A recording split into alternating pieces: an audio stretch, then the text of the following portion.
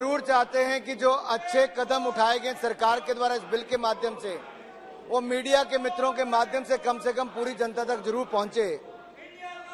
110 साल पुरानी ये फ़िल्म इंडस्ट्री, जहाँ राजा हरीशचंद्र जी जैसी फ़िल्म बनाई, उसके बाद पहली इंडियन टॉकीज की अगर मैं बात करूँ तो आलम आरा से लेकर सत्यजीत रे की अंदर पंचाली वाली पिक्चर न जाने कितनी फ़िल्मों की अनगिनत गिनती यहाँ पर हो सकती है।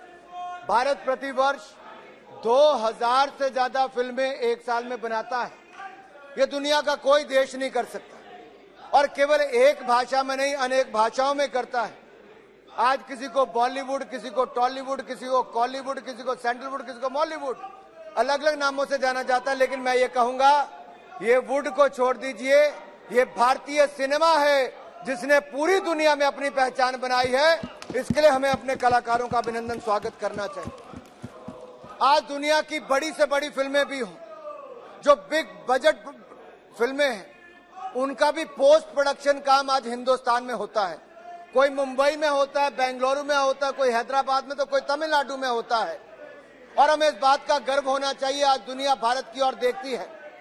We have become one of the most competitive industry in the field of cinema और ये ओटीटी से लेके डॉक्यूमेंट्री से लेके फ़िल्मों तक, इन सब के लिए पोस्ट प्रोडक्शन की ओर, भारत की ओर देखते हैं। आज सही समय है, यही समय है कि India content hub of the world बने और India content hub of the world बनकर ही रहेगा। अगर मैं आपके सामने कहूँ द एलिफेंट विस्परर्स की बात करूँ आरआरआर की बात करूँ, या फिर ऑल दैट ब्रीथ्स इन सबने ऑस्कर में इनका नाम आने से एक तरह से हिस्ट्री क्रिएट की है। और यही नहीं K G F two R R R Kantara जैसी पिक्चरों ने, जो तमिल, तेलुगु, मलयालम, कन्नड़ा ऐसी अलग अलग फ़िल्म इंडस्ट्री को और बल दिया है।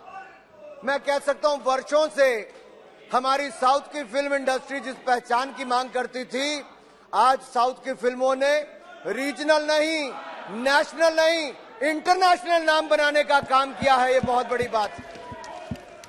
इसलिए हमारा दायित्व और भी बड़ा हो सरकार के नाते हो जाता है कि पायरेसी को कैसे रोका जाए। साउथ के कई कई शहरों में तो ऐसा है, माननीय स्पीकर महोदय, कि वहाँ पर तो लोग अगर 9 बजे का शो है तो सुबह 6 बजे आकर बैठ जाते हैं कि हमने पहला शो पहले दिन देखना है। अगर ये बिल ना आए तो उन जैसे लोगों के साथ अन्याय भी होगा।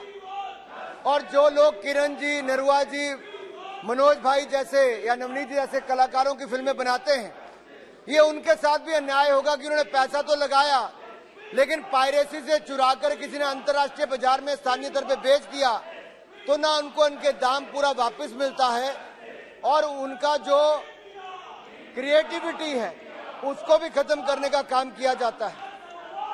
अब भारत में अगर देखा जाए is known as a country of story tellers and if you are known as a story of country tellers a country of story tellers तो उसमें इसके पीछे हमारी लेगेसी हमारा कल्चर हमारी डाइवर्सिटी हमारा हेरिटेज इन सब का एक बहुत बड़ा रोल है। और हमें गाँव गाँव की बातें, अपने कल्चर से जुड़ी बातों को आज देश दुनिया के पहुँचाने का एक अवसर है। मैं एक उदाहरण आप सबके सामने रखना चाहूँगा। आज से छह सात महीने पहले मैंने सेंट्रल एशिया के देशों के यूथ डेलीगेशन को होस्ट किया। तो शाम के समय जब उनको भोजन दिया माननीय सभापति जी तो तुर्मेकिस्तान, कजाकिस्तान, उज्बेकिस्तान, कजाकिस्तान, इनके युवा जो थे, उनको हमने भारत के डांसेस दिखाए, भारत का कल्चर दिखाया। उन्होंने अनुरोध किया कि वो भी अपनी कुछ कल्चरल आइटम पेश करना चाहते हैं। और हमने अनुमति दे दी। मुझे लगा शायद वो अपने देश का कुछ गाकर बताएँगे। जब वो मंच पर आए तो किसी ने कौन से जमाने का गाना गाया? मिथुन चक्रवर्ती की फ़िल्म जब आई थी, उनमें से अधिकतर लोग पैदा भी नहीं हुए थे। तो पहला गाना गाया I am a disco dancer वो किसने गाया? सेंट्रल एशिया के देश के लोग। दूसरा ग्रुप आया तो उसने क्या गाया? जिम्मी जिम्मी जिम्मी, आजा आजा आजा। और ये कौन गा रहा है? वो अपनी भाषा में गा रहे हैं, अपने इंस्ट्रूमेंट के साथ उसको बजा रहे थे।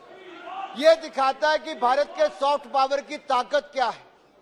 और अगर इस देश से लेकर सेंट्रल एशिया रशिया तक रशिया में मैं फुटबॉल का वर्ल्ड कप देखने गया 2018 में तो मेरा नाम जोकर की बात करते थे, राज कपूर जी की फ़िल्म की।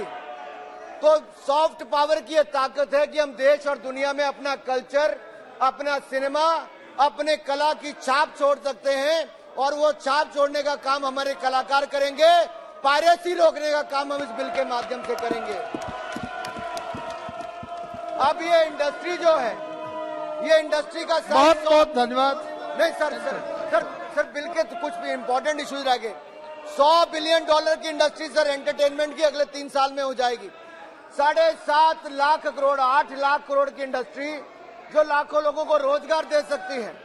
ये उनके भी हम हितों को देख रहे हैं और इसके साथ साथ ये फीचर फ़िल्म हो डॉक्यूमेंट्री ओरिजिनल फ़िल्म हो टीवी शोज़ हो, ऐसे बहुत सारे लोगों के हितों का ध्यान भी हम लोग रख रहे हैं।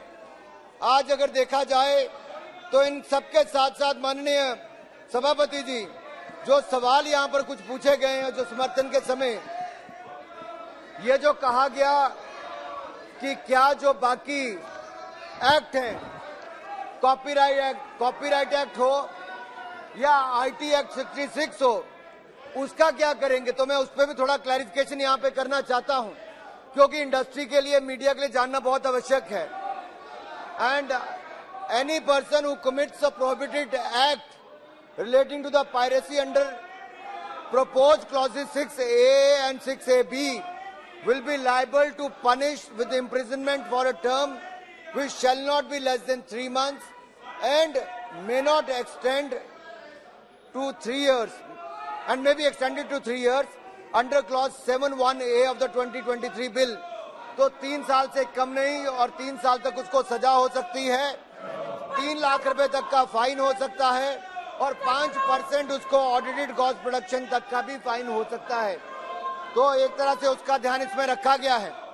It further clarifies that certain act as provided under section 52 of the copyright act 1957 will clarifies that with certain acts as provision under section 52 of the copyright act 1957 will not be punishable under this provision section 52 लेकिन लेकिन in addition to the penalty prescribed under the cinematograph act a person can be prosecuted for piracy of films under the copyright act 1957 and the information technology act 2000 the penalty of the offence under section 51 of the copyright act 1957 is set out under the section 67 which where a person infringing the copyright of the copyright holder of a film shall be punishable with imprisonment of a term which shall not be less than six months, but which may be extended to three years, and fine which shall not be less than 50,000 rupees may be extended up to 2 lakh rupees. इसी तरह से section 66 का information technology act में भी उसको पाँच लाख रुपए तक की सजा हो सकती बहुत है। बहुत बहुत धन्यवाद मंत्री जी। दूसरी तरह से दिया जा सकता है। बहुत बहुत धन्यवाद। और इसके साथ साथ हमने बहुत धन्यवाद। कंपनसेशन की बात भी कही है साथ ही साथ माननीय उनके जो केवल 10 साल में उसको लाइसेंस खत्म हो जाता था अब फ़िल्म वालों का लाइसेंस 10 साल में खत्म नहीं होगा। सारी उम्र के लिए उनको लाइसेंस भारत सरकार ने दे दिया है। कोई दफ्तर के चक्कर नहीं काटने पड़ेंगे। कोई पे दिखाना चाहते हो तो जो क्लॉज सीबीएफसी आपको चेंज करने के लिए कहेगा, वो केबल टेलीविज़न नेटवर्क के प्रोग्राम कोड के अनुसार अगर आप कर दोगे तो टेलीविज़न पर भी आपको फ़िल्म दिखाने का पूरा अधिकार मिल जाएगा। आपको कोई नहीं रोकेगा। एक बहुत इंपॉर्टेंट जजमेंट है sir K M Shankarappa versus union of आवाज़ यहाँ पर उठा रहे हैं, ना कि उनके इसमें मदद करने के लिए। उन्नीस सौ बावन में जब ये पहली बार इस पर कानून बना था, उन्नीस सौ बावन के बाद बड़े संशोधन नहीं हुए। आज से 40 साल पहले केवल एक आधा बड़ा संशोधन हुआ। लेकिन पायरेसी की समस्या ने इस देश में एक बहुत बड़ी चिंता खड़ी की और देश और दुनिया के सामने बहुत बड़ी चिंता है। पूरी फ़िल्म इंडस्ट्री वर्षों से मांग कर रही थी कि पायरेसी की समस्या से मुक्ति मिले। और सरकार इस बिल में संशोधन करे। आज मुझे कहते हुए इस बात का गर्व होता है कि नरेंद्र मोदी जी की सरकार में, एनडीए की सरकार ने फ़िल्म वालों के हित के लिए और देश के हित के लिए आज बहुत बड़ा संशोधन इस बिल में करने के लिए लाए हैं। ये चलचित्र संशोधन बिल जो है सिनेमाटोग्राफ अमेंडमेंट बिल 2023 इसमें अगर आप देखेंगे तो हमने 2019 में जब ये सिनेमाटोग्राफ अमेंडमेंट बिल आए तब इसको स्टैंडिंग कमेटी में भेजा गया। और स्टैंडिंग कमेटी में काफ़ी लंबे समय तक चर्चा हुई। और 2020 में स्टैंडिंग कमेटी ने इसको वापस अपने सुझाव देकर भेजा। और उसके बाद, अगर आप देखेंगे स्टैंडिंग कमेटी के सुझावों के बाद 16 मार्च 2020 के बाद, हमने इंडस्ट्री के साथ और अन्य स्टेक होल्डर के साथ वाइडर कंसल्टेशन करके इस बिल को हम लेकर आए हैं।